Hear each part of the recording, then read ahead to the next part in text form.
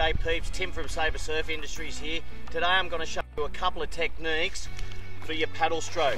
One being in the ocean and one on the flat water. First one, for the ocean, your arms are relatively, both of them are straight and what we do is short little punchy strokes, really good for turning around quickly and getting on a wave quickly. Stay tuned and I'll be showing you the technique for the flat water stroke.